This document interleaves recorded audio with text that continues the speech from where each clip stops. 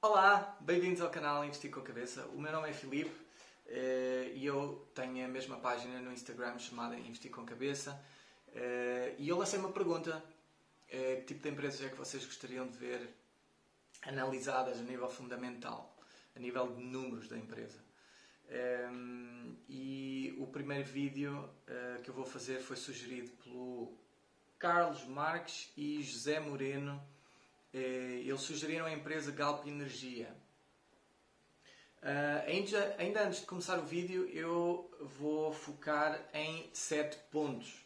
Okay? Uh, o primeiro são as receitas. Uh, segundo lugar, são os rendimentos líquidos, ou seja, aquilo que sobra do bolo depois de todos os outros comerem, se é que me faço entender. Um, a caixa e equivalentes, portanto, é o dinheiro que está disponível e equivalentes, portanto não é dinheiro, mas pode ser uh, outro tipo de coisas que também valham dinheiro. Uh, a dívida, uh, vou analisar a dívida e se essas empresas estão a pagar de volta essa mesma dívida. e o cash flow, em português, julgo que significa fluxo de caixa. Portanto, se essa empresa está a fazer dinheiro Uh, e depois, outros dois pontos vão ser o EPS, que são os ganhos uh, que essa empresa está a ter por ação, uh, e as receitas para o futuro. Okay? Portanto, estes últimos dois pontos, o EPS e as receitas, são relativamente ao futuro. eu não vou querer fazer vídeos muito longos, vou tentar ser rápido nesta análise. Este vídeo, isto exige algum estudo e alguma pesquisa, por isso, se vocês gostarem do vídeo se gostaram da análise, Uh, subscrevam o canal, deixem o like, uh, porque isso mostra-me a mim que vocês estão a gostar do conteúdo e querem que eu uh, continue a fazer. Ok? Vamos lá, vamos, vamos começar. Primeira empresa, Galp Energia. Vocês podem encontrar esta informação toda no Yahoo Finance. Um, foi onde eu pesquisei. Para além disso, abri o site. Quando vocês querem fazer uma análise fundamental, é bom que abram o site e vejam uh, o que é que a empresa tem uh, de exploração. Normalmente tem um separador que diz uh, sobre nós e objetivos da empresa, o modelo de negócio, o país onde atua, etc, etc. Vocês ficam a saber, se a empresa é pública, vocês têm que ter acesso a esta informação toda. A Galp Energia foi fundada em 1999. Ela explora e produz petróleo e gás natural. Um, ainda produz biodiesel e tem mais de 41 mil uh, hectares de plantações de óleo de palma. Uh, está presente em diversos países, uh, Portugal, claro, depois Brasil, Angola, Moçambique, São Tomé e Príncipe, Namíbia e Timor-Leste. ok, vamos parar aqui. Uh, isto, para mim, é um grande ponto de exclamação uh, e eu passo a explicar. Uh, eu, por questões de princípio, eu não acredito em empresas que explorem e, de alguma forma, destruam o planeta comercializando e produzindo, refinando petróleo.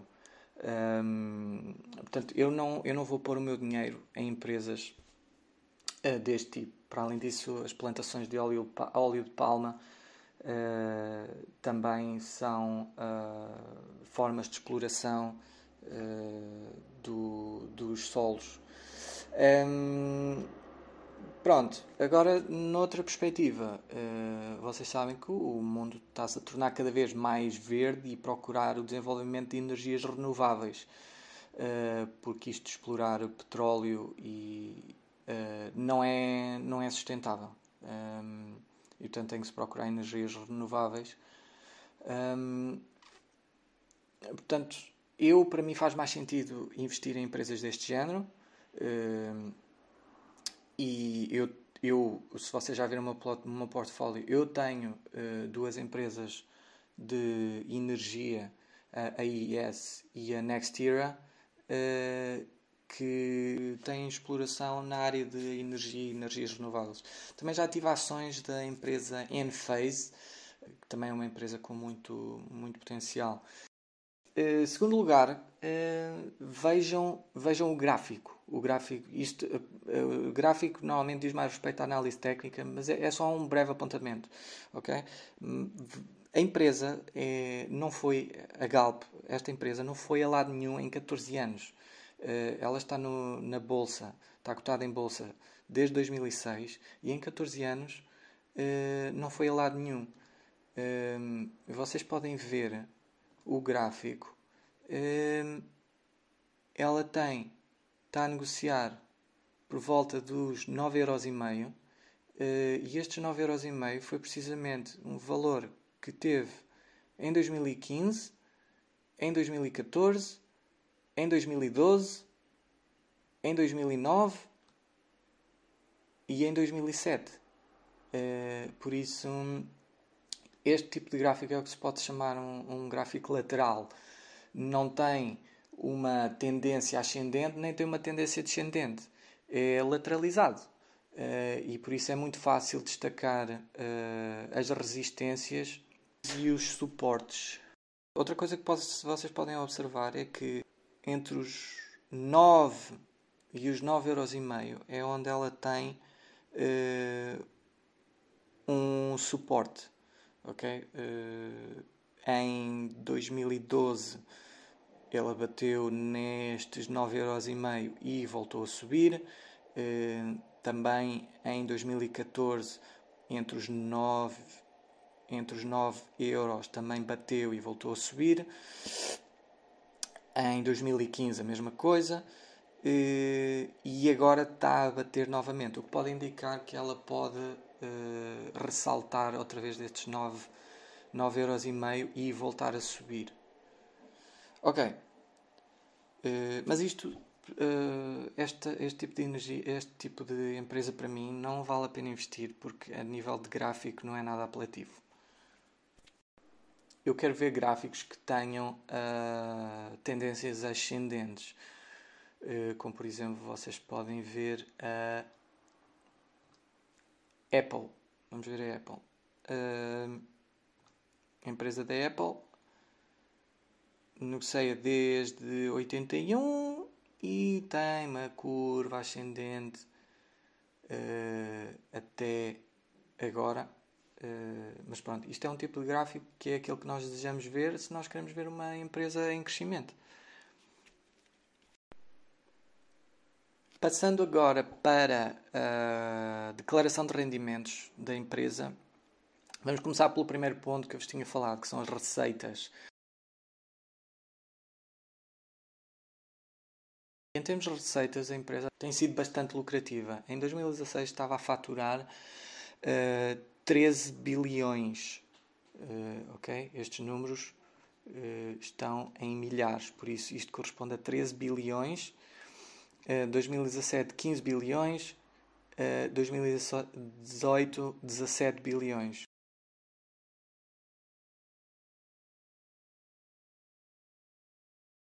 O segundo ponto é são os rendimentos líquidos. É aquilo que eu quero saber no fim do dia o que é que sobra e o que é que entra no meu bolso.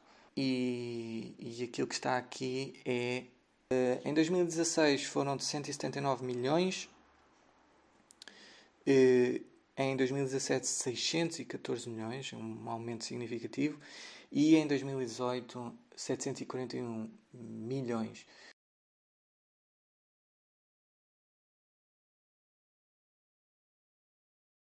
Agora, passando para a folha de balanços, eh, vocês têm o dinheiro em caixa e equivalentes. 2016 esta empresa tinha um milhão, uh, um milhão não, um bilhão. Em 2017, 1 bilhão e 200 milhões.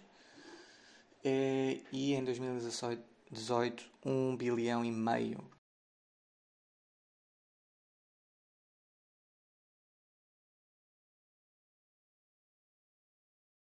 Uh, o próximo fator a ver é a dívida. Dívida, vocês percorrem mais para baixo, têm aqui eh, ainda na folha de balanços a dívida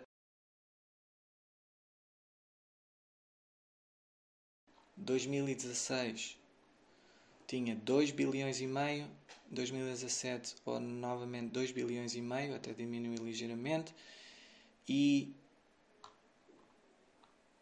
em 2018 2 bilhões 686 mil.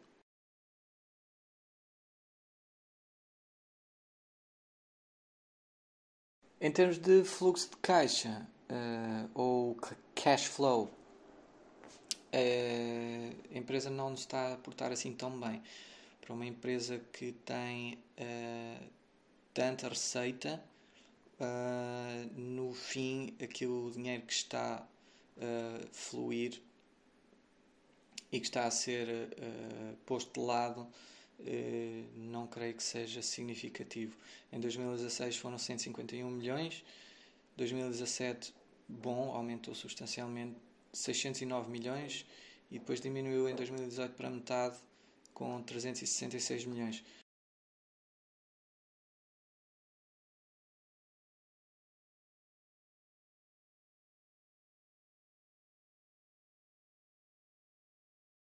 Em termos de estimativa de, dos earnings para o futuro, gostava de vos dar números, mas esta empresa não tem.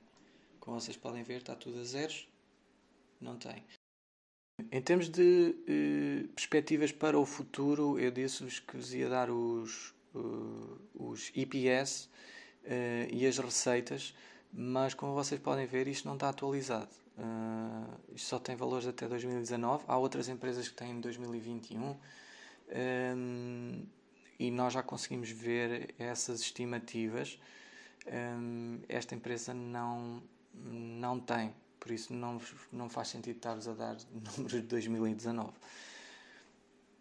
Por último, esta empresa paga dividendos. Para quem estiver interessado, uh, está a pagar com uma yield de 7% mas atentem ao facto do payout ratio, um, é a capacidade da empresa pagar aos seus investidores. Uh, está nos 172%. Este valor é altíssimo. Uh, a qualquer momento, este dividendo pode ser cortado porque é insustentável. Um, o ideal é que esteja abaixo de 60%, 70%. Uh, tudo abaixo disso é um dividendo relativamente seguro. 172%, uh, eh, nem pensar. Considerações finais. Uh, esta é uma empresa que não atrai minimamente, uma empresa relacionada com petróleo. Uh, eu, pessoalmente, na minha opinião, claro, uh, sou mais virado para as energias renováveis e acredito mais nisso para o futuro. E em termos de, de crescimento da empresa, e valorização das ações também não é atrativo. Eh, eu quero ver um gráfico que seja eh, que tenha uma tendência ascendente. Eh, portanto, se eu comprar hoje a 10 dólares ou 10 euros, eu quero daqui a uns meses vender com. Daqui a uns meses, não, daqui a. Bem, pode ser no, em alguns meses ou alguns anos, eu quero vender com 30% ou 50% ou mais de valorização, de lucro. Eh, não quero ter uma ação que, que valha 10 euros e daqui a dois anos vale 10 euros na mesma. Uh, não faço dinheiro nenhum. Se gostaram do vídeo, deixem like, subscrevam uh, para continuar a ver mais vídeos do género. Isso também me mostra a mim que vocês estão a gostar do conteúdo que eu vos estou a trazer. deixem nos comentários se quiserem outras sugestões. Ok? E vejo-nos no próximo vídeo.